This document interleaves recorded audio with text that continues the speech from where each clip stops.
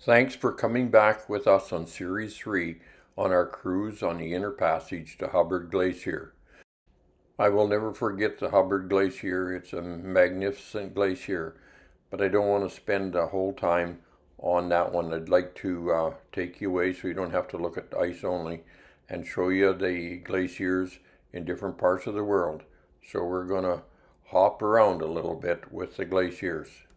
This movie is going to uh, cover two cruise ship trips up the Inner Passage and traveling Highway number 37, the uh, Alaska Highway, and through Alaska, mainly Alaska and British Columbia, and four glaciers. We'll first uh, cover the cruise ship that we took up the Inner Passage this year. And then after that, we'll be taking Highway 37. We said we're going to cover four glaciers, but we also did the one in Denali and in uh, Alaska Highway or up in Alaska.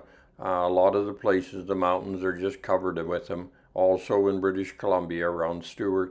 We also went to Greenland. They got lots of glaciers there. While in Greenland, the cruise ship was going to leave, so we didn't get time to get out over the glaciers, but we got some pictures of them. The ice that the Titanic hit was from Greenland. Jakobshavn, hopefully I pronounced that right, is a glacier in Greenland and it's the fastest growing glacier in the world. The Jakobshavn Glacier is growing and expected to continue growing. It's July, but we both got to stand on a little piece of glacier ice. Okay, we left uh, Greenland and back in British Columbia. We may be in Telegraph Creek here, but we don't have uh, a range ride down the river to Wrangell, Alaska. I hope that uh, in the future we can make arrangements to take a boat down the Stikine and go to Wrangell, Alaska. There's some 300 uh, glaciers along the way there. So we got a lot of glaciers up in the north.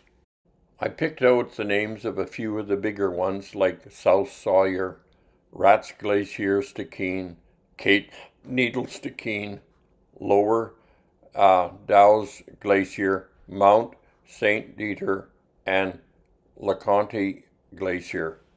That's only a few, and I hope that I come close to pronouncing them right.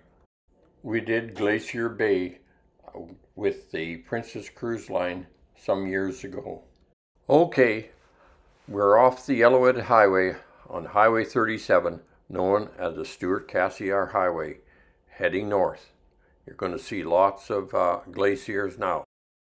This is Highway 37. We're just coming up to the Meziadin junction of Highway 37 and Highway 37A that goes into Stewart maybe 37A, but uh, we're going to be coming to Bear Glacier soon. Oh, there's the bears. The glacier should be coming shortly.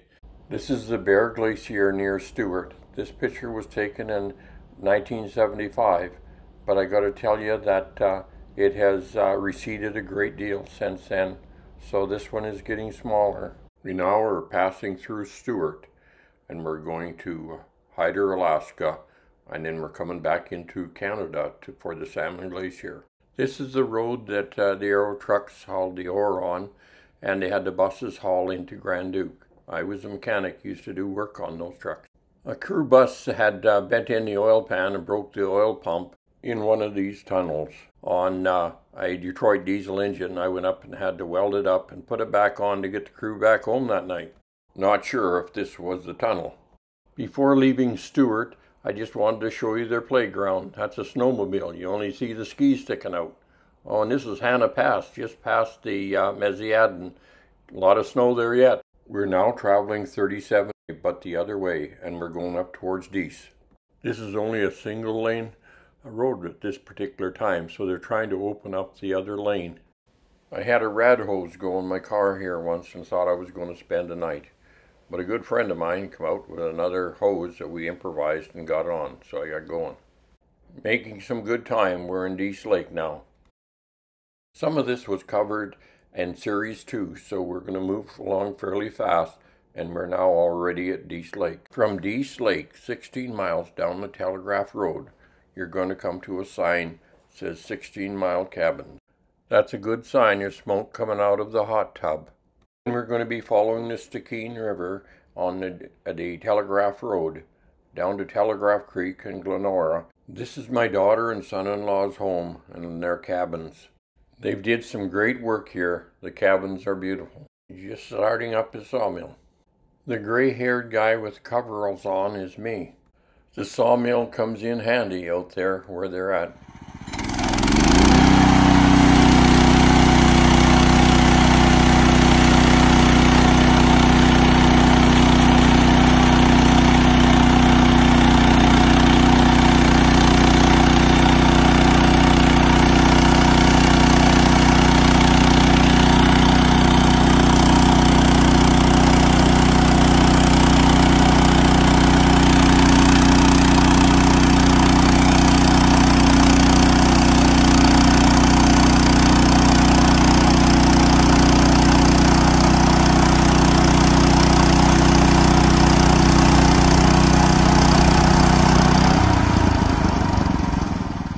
That's John, my son-in-law, on the sawmill. I'm quite proud of him as far as his woodworking skills are really great. We built a well driller as well. Only problem is it was not designed for bedrock and large boulders, so we come to a crashing stop after we got down a ways.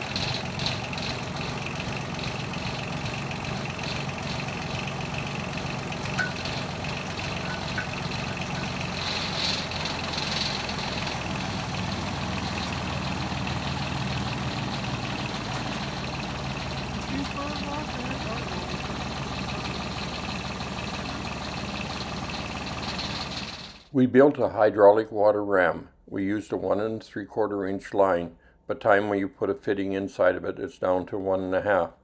So we do have water and we can feed the animals in the garden and different things. And when it runs 24 hours a day, it's a lot of water, but we want to make it work better. So on the next trip, we will increase the diameter of the line so we can get even more water. From the hydraulic water ram up over the hill, to where we're putting the water in barrels to just a garden hose.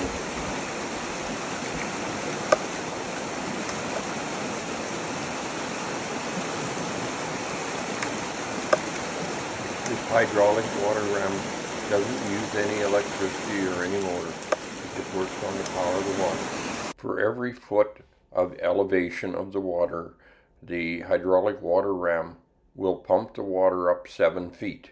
So you can raise it up quite a ways if you have a bit of a drop. This is a great system in the summer, but after it uh, gets cold in, in the winter and in Dease Lake, uh, it's going to freeze up. The next trip to Dease and out to 16 mile cabins, we'll be trying to put a bigger line in and make it even work more efficient. After a day being off the grid, it's nice to jump in the old hot tub and have a refreshing dip. Okay, back at the sawmill, I told you John was a good woodworker. I'll let you just look at their cabins that they put up here. We'll let you be the judge. But uh, I think he does very well. They have many guests come here and stay in the cabins from various different parts of the world. They are off the grid, so they are using solar panels, collecting power that they, they can use to make the life there fairly comfortable Plus they have a storage tank and running water. We found life very comfortable. And looking out the window, we've seen bears and we've seen link. Plus there seems to be quite a few foxes there as well. And other smaller animals, just as they have uh, cabins that are quite large and other ones that are somewhat smaller, like this one here that you're looking at the bed here. And other animals. Okay, we're going to have to be heading down to Telegraph Creek now, over the Telegraph Creek Road. We're uh, also interested in is there a possibility somewhere down the road where we could take a riverboat to Wrangell, Alaska. This is my daughter here, and she's sort of the one running the business and looking after the animals, and I guess a few other things as well. And my wife is on the right, and she has the pink top on. We're just out spending some time at the cabins and enjoying ourselves. And then we're going to go on down to Telegraph and uh, spend some time there and check out the glaciers that's on its way down to Wrangell, Alaska. From Telegraph Creek down to uh, Wrangell, Alaska. I'm told there's some 300 glaciers that uh, we would be going by. Back in 1970, I used to drive this road, and I gotta say that one day I spent all night there, stuck in a mud hole. But it's a real famous road. I tell you, there's some big hills there. The road is much better now, so I wouldn't be too afraid of it.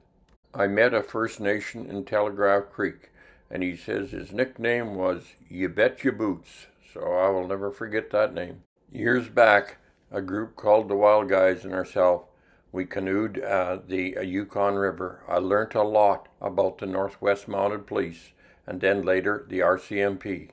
They've contributed a lot to the development of the North, and I always had a lot of respect for them. They shouldn't be called uh, mounted police back then. I think they should have been mushers, because in the early days they had dog teams. The first uh, vehicle we met, guess what? It was an RCMP officer. So we talked to him on the road for a little while. I believe he was from Poland or Russia, and my wife from was from Croatia and they both could speak Russian. So guess what was going on on the road?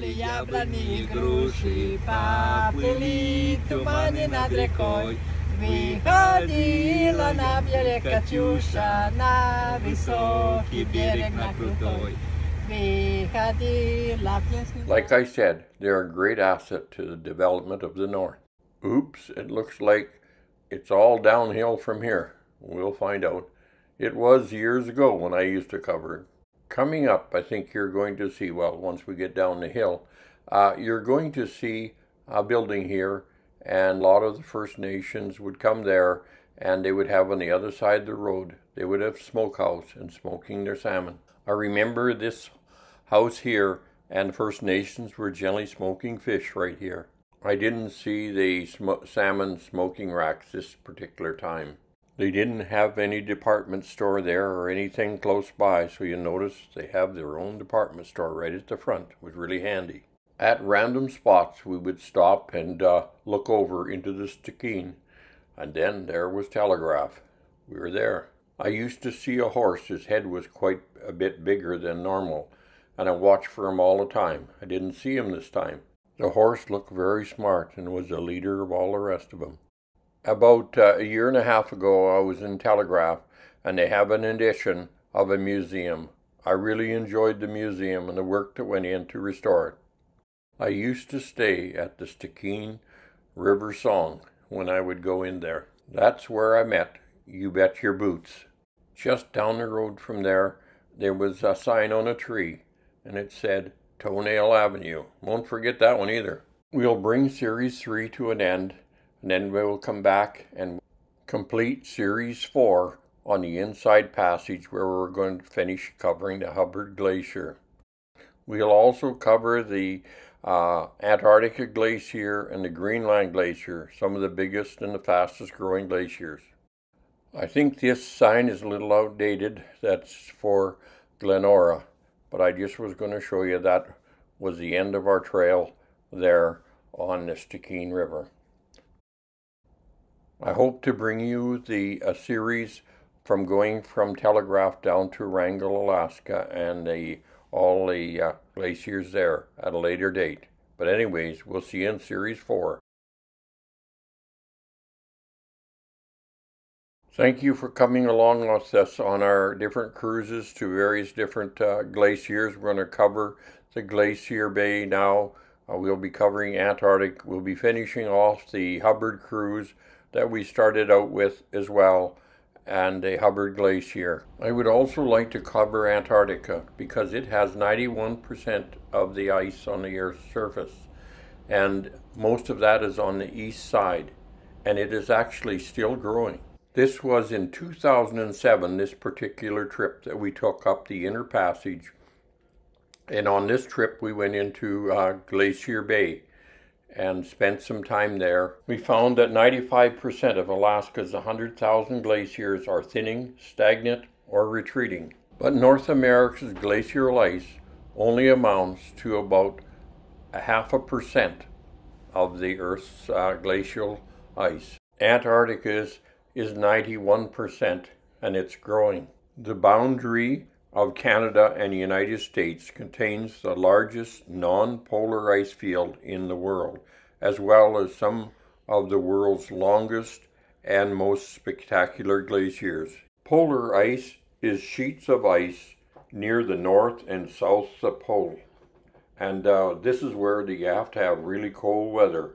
No heat down there. The eastern side of the Antarctic is known for their sheet ice. Known as the polar ice, Bear Glacier is not far from Stewart, British Columbia. After viewing Bear Glacier, go on into Stewart uh, as well, and then from Stewart uh, you can go over to Hyder and up into Alaska ways, and then back into Canada to the uh, Salmon Glacier. The record snowfall there is 1,100 inches, and uh, they had a major catastrophe avalanche in Granduc, and 26 people were killed and 17 was injured. This happened on February the 18th, 1965. We have covered most of that, so I just give you a bit of a summary. And we're now back uh, on the Hubbard Glacier, and we'll be going back and covering that and looking at the calving that's taking place there. We will uh, continue to follow and monitor the Hubbard Glacier. The overcast sky is starting to clear up now, so we should have a good day watching the Hubbard. It's hard to have your camera on and running uh, in the right location because it's there's a, a, massive area that the Hubbard Glacier covers to uh, catch them when they're falling, but we're going to do our best. On the right hand side, you're going to see a small calving taking place on the screen It should be coming out. You can generally see the water moving. There's, you see a little uh, whitened area there. You can see the water coming, the white coming out, the wave coming out. You know that the the ice is coming down there now. That is going to be just the start of it. It looks like that uh, more uh, glaciers coming down. You see it coming down there right now. So uh, you'll be a period of time where you won't see a lot of activity, but you still hear the noise, so you know things are moving.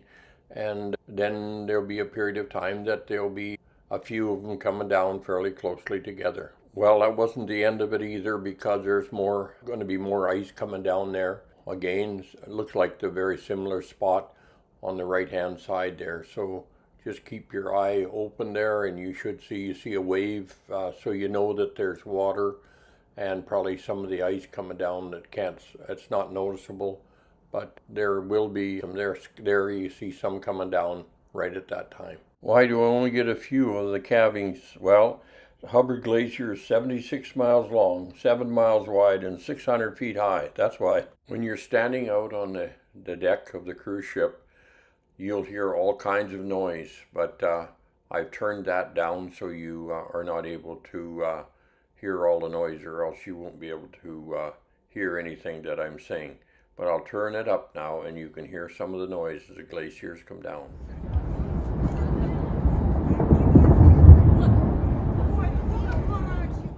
Well, you should see some ice coming down there. It comes there now again. So there's a fair amount that's coming down there. So when you really focus on one area, you find the area where there's some movement then uh, you'll notice that it continues a little more coming down at that particular time. So there is quite a bit of movement here. Looks like there's some more ice coming down now. If you watch the waves there, you can still see ice coming down and the wave going out. We hear a lot about the glaciers uh, thinning and melting, and yet at the same time, you might ask, how many glaciers are there in Alaska? Well, there's over a hundred thousand. The biggest glacier in Alaska is the Bering Glacier near Cordova, and it is uh, 1,900 square miles, so it's a big one. You probably will wonder, is it growing or is it shrinking like a lot of the other uh, glaciers? and the answer is there, it both grows and it shrinks. It seems to change about every 20 years, the research that I checked out but overall it is uh, shrinking. According to the information that I did research on, and most of that was from Google. Then in Alberta, which is in Canada, they have about 800 glaciers. There is 17,000 glaciers in the province of British Columbia. When you see the number of glaciers that we have in Alaska and also in Canada, and particularly in British Columbia, you'll think, wow, there's a lot of glaciers. When we uh, look at the glaciers we have in Canada and Alaska, you'd think, wow, most of the number of glaciers are here. But, but if you look at where all the glacier ice is, 91% of the ice is actually in the Antarctic. And in the east side, they are growing and they're the largest part. And in Greenland, it amounts to 8%.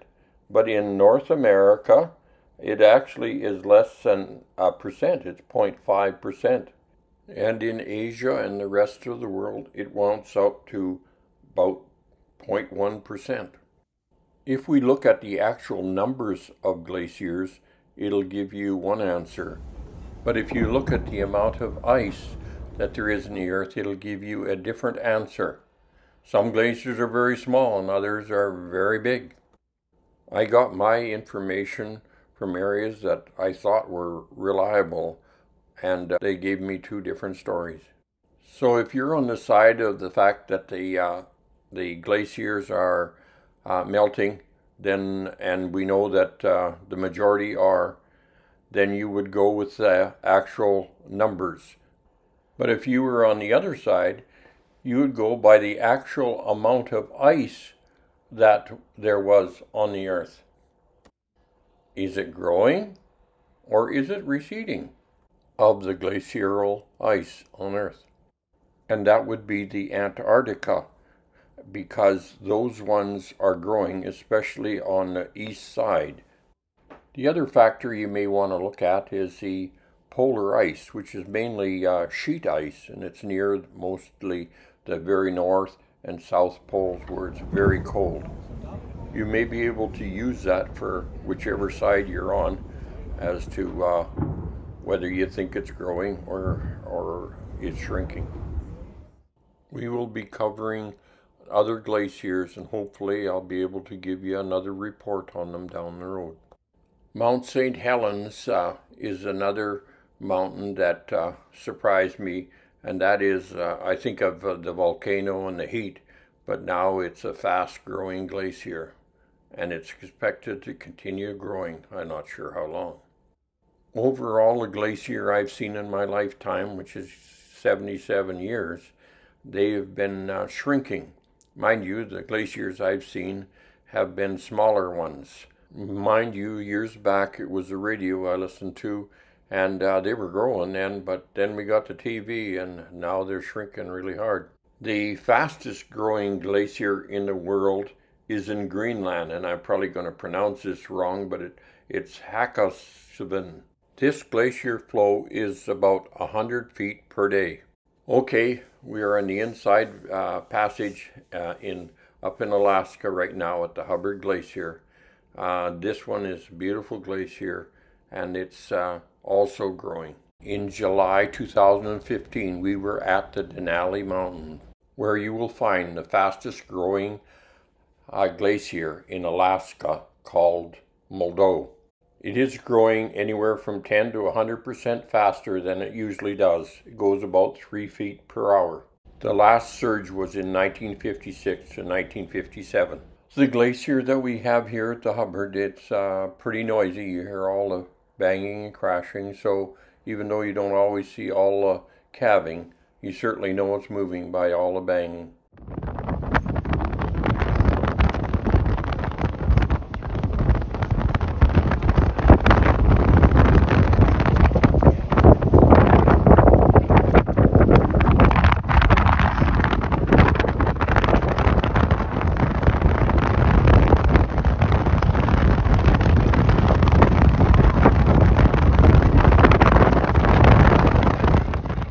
Some of that sound that you're hearing, I'm sure, is also uh, contributed to by the wind that's been blowing here. So you'll see uh, uh, hair blowing in the air on some spots down there. So there is some wind as well. Uh, you don't always see the calving, but we have a number of calvings that took place that we managed to be focused in the right place at the right time. We're going to now bring series number four to a close. We're just about done the Hubbard Glacier and there's a few other glaciers we'd like to give you some information on.